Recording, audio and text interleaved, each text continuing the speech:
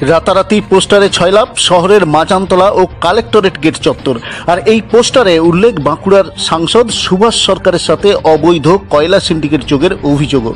এমনকি কয়লা সিন্ডিকেট থেকে মাসে তিরিশ লাখ টাকা করে মাসোয়ারা নেওয়ারও অভিযোগ লেখার নজরে পড়ে এই পোস্টারগুলোই কয়েকটি পোস্টারে, সাংসদের নার্সিং হোমে কোভিড রোগীর চিকিৎসায় লাখ টাকার বিলের কথাও লেখা রয়েছে। সূত্রের খবর, প্রায় শখানেক এমন পোস্টার নাকি সাঁটানো হয় মাচামতলা ও তৎসংলগ্ন এলাকায়। বিজেপি কর্মীদের তার নজরে পড়তে তারা সেগুলো ছিঁড়েও ফেলেন।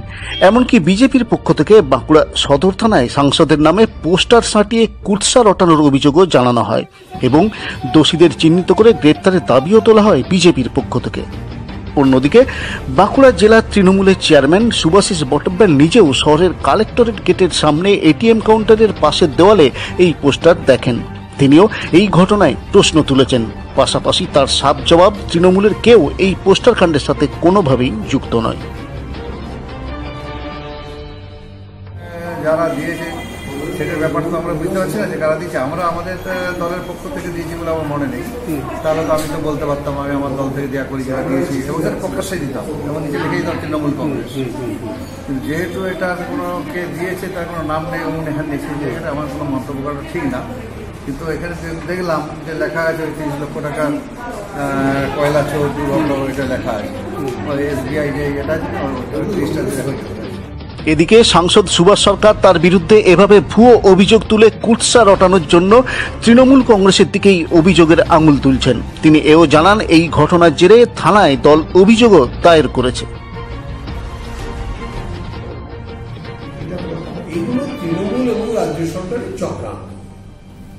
নিজেদের পায়ের তলা থেকে মাটি সরে গেছে, ওরা যা খুশি তাই করছে।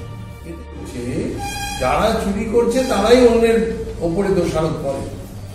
চোর অন্যকে এ করে। সে যেমন হয় না? তৃণমূল বলছে বিজেপি গোষ্ঠী যেমন হয় না যে পকেটটা মেরে আর সেই ছুট দেয় চোর চোর চোর চোর বলে। এটা তো তাই কাজ। আপনারা কি এর বিরুদ্ধে আইনগত পথে থাকবেন? কারণ একজন সাংসদের বিরুদ্ধে এইভাবে না ইতিমধ্যেই তো অভিযোগ করে দিয়েছে। আমাদের সমর্থক অভিযোগ করেছে। আর তৃণমূলের সুভাষিসবাবু বলছেন যে এটা বিজেপির গোষ্ঠীদ্বন্দ্ব, সেই জন্য আমরা কেন করতে আমরা করলে আমাদের নাম দিয়েই করতাম, প্রকাশ্যে করতাম। পোস্টার কাণ্ডে বিজেপি ও তৃণমূলের চাপান উত্তর চলছে।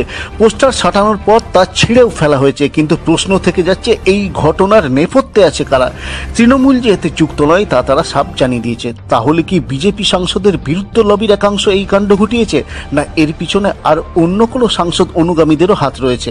এমন নানা জল্পনা চলছে জেলার রাজনৈতিক মহলে। এখন দেখার, পুলিশ এই পোস্টার কাণ্ডে রহস্যভেদ করতে পারে কিনা? Bureau report Bankura twenty four X seven.